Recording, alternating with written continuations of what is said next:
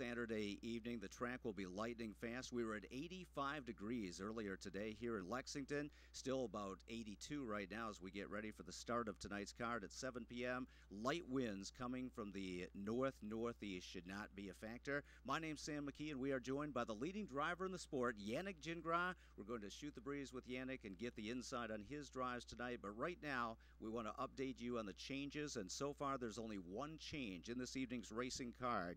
That's in the ninth race. Number four, that's my opinion, has been scratched sick.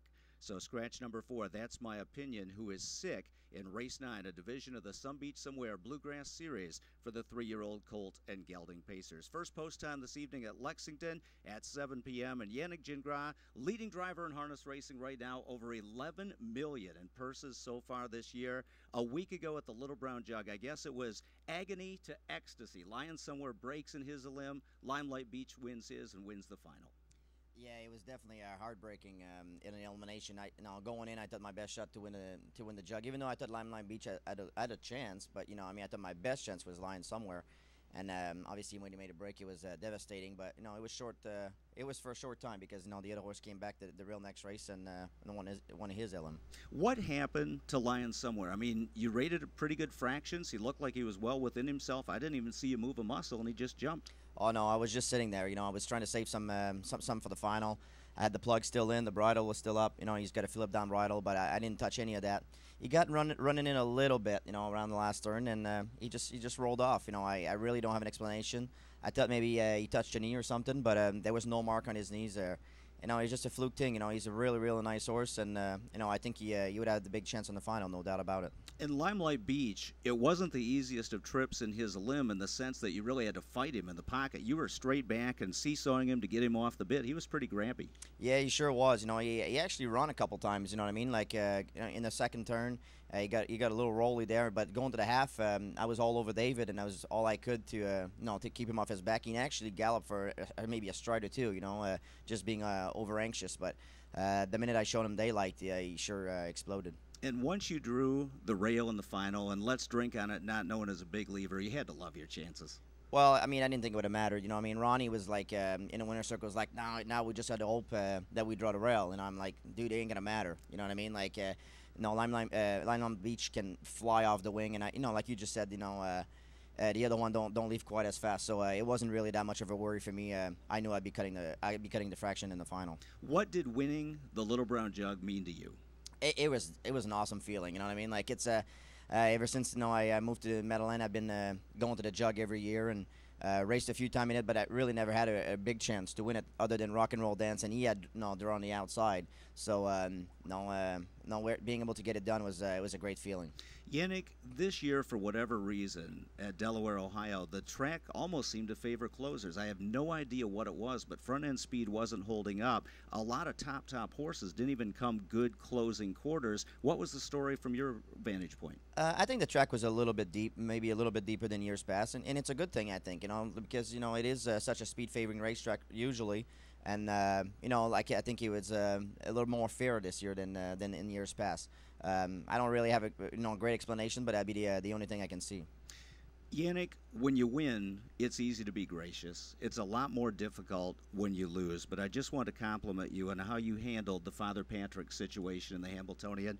I was never more sure a horse was going to win a race in my life, and I'm sure you felt the same way. For some reason, he made a break at the start, but the very next race, you came back and won a major stakes race. You talked to the media, you met it all head on, and even though you were horribly disappointed, you handled it with grace and class. Thank you. Yeah, it was. Um, I mean, it was very difficult. You know what I mean? Like, uh, I mean, I might never um, have another chance like that. You know what I mean? It's um, and, and it's for the horse as well. And like I said that day, um, you know, I might win it again, but he, he never will. You know what I mean? He's a great horse. Um, you know, the the most talented horse I've ever driven. You know, and um, you know, it's gonna be always gonna be a little blimp on his resume, but I think he's accomplished enough that. Uh, people uh, still uh, see him in, in the like of uh, Mack Lobell and uh, Muscle Hill because I really believe he, be- he, uh, he belongs in that category. Now, you also had a big win in Quebec, in Montreal the other day, the Prix de d'Été, which they revived after several years, and you won it with Jimmy Takter's horse, Sunfire Blue Chip, and right in your backyard. That'd be a pretty cool deal. That that was, um, you know, that was one race I marked in the calendar, like in, in March. You know, I mean, the uh, going home. Like I grew up watching the Prix de d'Été. It was uh, for three year olds, three year old pacers back then. But I uh, I used to have the tape at home and, and replay those those tapes, you know, thousands of times. And I'd, I'd be putting on the mute button and announcing the races myself. You know, I I love watching those races. And um, growing up, I was just dreaming of being a, maybe a driver in Montreal. Maybe one day be lucky enough to race in it. You know, and um, to be able to win the the renewal and all my family was there, my friends were there, um, my grandmother was there, which was really special. And um, it, it was a great thrill you and Ronnie Burke and you and Jimmy Takter are dominating the sport right now. And so many times we hear Ronnie Burke say, well, we've got Yannick on the horse, or Yannick's been driving the horse, or we've got you back up. What is it about you two that seems to click? Uh, I mean, he's so easy. You know what I mean? Uh, he, uh, nothing really bothers him. You know what I mean? Like, he, he does a bad drive, he doesn't doesn't worry about it. Like, I pick off horses. You know, a lot of trainers uh, uh, wouldn't accept me picking off horses. You know, he's got 300 horses. I know I'm first call on most of them, and um, he's so understanding. You know, what I mean, um, uh, like I give you an example. Earlier this year, I had a hard pick between Bands of Angel and and uh, JK. She's a lady, and I, would say like so many trainers come up to me and they were like, "How did Ronnie let you get away with that?" You know, I mean, how did he let you drive with the other horse? But he uh, he knows that it's a it's a business. You know what I mean? Like, and he wants the best for me as well. You know, he. Uh, and like told me that day in the he said, "I'm not telling you I don't want you to drive my horse. I want you to drive mine, but I won't be mad. You know, I mean, do whatever you think is right, and um, you know, we have a great relationship. He knows I um, I, I mean, I'll always be there to, to drive his horses, and uh, I feel the same way the other way. We have a great relationship, and um, we both uh, we both respect each other. And it's kind of ironic because it used to be that Ronnie concentrated more on the raceway horses, the older horses, and the pacers, and Jimmy Takter, you drove his top young trotters. Well, now Ronnie Burke's getting into the trotters and doing very well. He has Mission Brief and Habitat, two of the best of two-year-olds this year. How do you juggle that back and forth between Jimmy and Ronnie? Uh, that's the hardest part of my job. Driving these horses is really easy. Um, but you know, both of them are understanding. You know, they. Uh, I try to drive the best horse, and and um, they both understand that. You know, they uh, as long as um, we all three of us can uh, can agree on that, I think we'll all have uh, success. And um, now, like you said, Ronnie was no before this year, like he was more like the raceway, but he's at he's got a great crop of uh, two year old this year, and the same thing for Jimmy. Um, just try to to be fair to both of them, and and the one thing is that uh, I'll just tell him up up front. You know what I mean? Like I'm not gonna lie to neither one of them. If if I say I can go at one, I'm not gonna change my mind five minutes before scratch time. You know what I mean? That's uh, that's the one thing about me. And I think they're also pretty good friends. Didn't Jimmy Takter go with Ronnie and Mickey when uh, Buck I St Pat raced in the Elitlopp to try to help him out over there? Absolutely, and I think that makes a big difference too. I think they both respect each other. No, I know they both respect each other very much, and um, you know, if they didn't like each other, I think then there'd be more of a pissing contest, maybe of uh, no, you got to drive mine or you got to drive no, the other guy be saying the same thing. So uh, by them respecting each other and, and being friend, uh, definitely helps me out.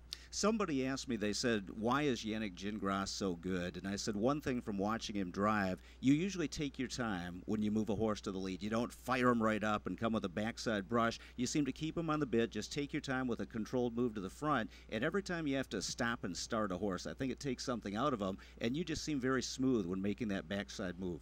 Well, he comes a little bit with experience too. You know, I, I used to be. Uh, leaving the gate, an example at the Meadowlands, and um, thinking I, I got to be in front before the first turn, or like you know just fire him right out and, and make the front. But then then you, you get a little older, you get a little more experience, and realize that um, you know if you get to the front too quick, somebody else is coming, especially at the Meadowlands. You know, so. Uh, you know, and, and, like you said, if you um, if you get a horse to go like huge huge eight, you know, I mean, definitely takes their toll on them. You know, I mean, you try to, you know, slowly grind your way there, and you know, and, and when you have the right horses and the you know, you have the respect of the other drivers. You know, you don't have to be coming that fast. Uh, you'll make the front, you know, 99% of the time anyway. Now, a lot of people don't know this about you. You actually have a degree in accounting. What are your hobbies away from the racetrack? If you have a day off, do you like to play golf? Do you like to read books? What what's Yannick Gingras into? Honestly, right now the uh, only my only time off I got is with the kids. You know, I mean, uh, sports with uh, no Jaden plays hockey, Edison does gymnastic.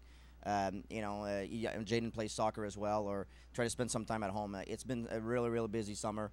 Uh, not many days off, and you know, I did like golf. I, I mean, I played a little bit last year, but you know, it's a sport that you have to play quite a bit to uh, to be good at, and I just I, I, don't have the time right now. I, I can't be committed to uh, to playing golf, and, and it takes the time away from being home. Well, if the kids are into gymnastics and hockey, it's a good thing you're making 11 million a year in purses because believe me, that's pretty expensive stuff. Let's talk about your drives tonight. First race, number six. Whom shall I fear? The brother to Father Patrick and Pastor Stephen, off to a slow start to his career. Yeah, but you know what? I'm looking forward to race him tonight. Um, I've trained him a couple time uh, in the spring, and I really liked him. Um, you know, he, uh, he, he goes a lot like Father Patrick. You know, he's he's uh, more like Father Patrick than, than Pastor Stephen. Um, you know, he got, he, I think he got a little sore in his feet and stuff. That's backed him up a little bit, but. Um, I think he's going to be a good mile tonight. You know, if you look at his line from last week, he come in his last three quarters in like 125 and change. So um, I think tonight will be a his coming out party. In the fourth race, you've got number seven Cartoon Daddy, the New York Sire Stakes star for the Burkes, and it looks like you're in a division where he stands out. Yeah, yeah, he definitely is a nice horse. There's no doubt about it. Post seven, uh, it's not that big of a deal for him. Um, probably be looking for cover. You know, a long stretch here. I'm not sure he'd be a, a big fan of that, but uh, on the front. But uh, it, with a cover trip, I think yeah, you'll do some damage. One of the most interesting horses you're driving on the card is in the sixth race, number five, Odds On Amethyst, who's now in the Jimmy Takter stable. And after what Jimmy's done with Master of Law, maybe he can get this horse straightened up. This horse is very fast. He won a Grand Circuit race here last year, but he is about as rank as anything I've seen when he grabs on. Yeah, I've seen him uh, early in the year qualifying, and uh, he, uh, he definitely uh, he doesn't look like an easy horse. But Jimmy told me that um, no, he's perfect now. He's really easy on himself, and uh, he's two finger to drive. And um, he told me last week he was going to put me down on him, and he said he's ready to go. Moving on to the seventh race, you've got number five Blood Brother. He's had a little bit of a layoff, but looks like his qualifier was sharp.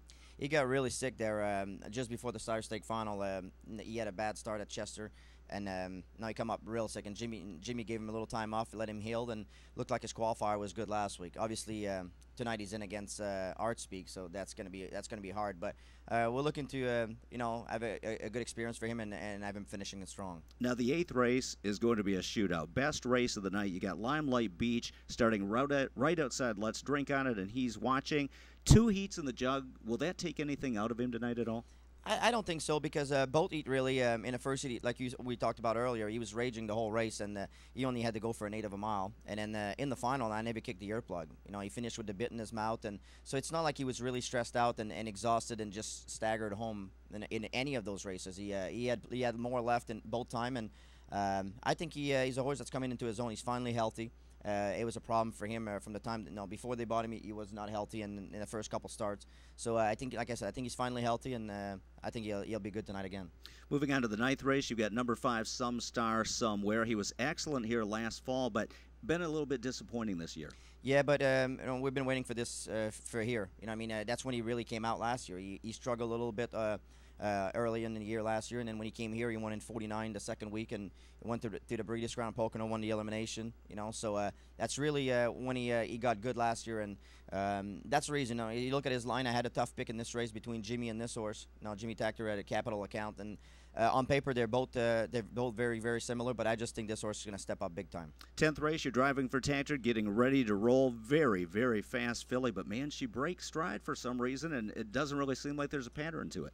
No, um, I, I, thought we had her. Um, she had been good for four or five starts in a row, and I believe she was she was gonna. Well, she was definitely gonna win her elimination of the Jugette, and I think they would have had a hard time beating her in the final. She's uh, super talented, and like I said, we, I thought we had her, and but you know I'm kind of glad that you know that her next start is here. You know, you don't want it to get into a habit, but um, this this track's gonna fit her perfectly. You know, she uh, she can race on the front, she can race from behind um, you know, those big wide turns here and, and the clay surface uh, is definitely going to be to her liking. Does she give you any indication when she's going to make a break or just roll off? Uh, no, sometimes she does. You know, at the Meadowlands in the Miss, in the Miss New Jersey, um, she uh, she showed she showed me uh, going to the half, but I was able to save it that day and, fi- and made the front anyway. But um, at, at Delaware, she didn't show it. You know, she was going along just fine, and I still had the earplugs in, and I was just I was getting ready to clear, and she just you know, rolled off that day. So uh, sometimes she does show it, sometimes she doesn't.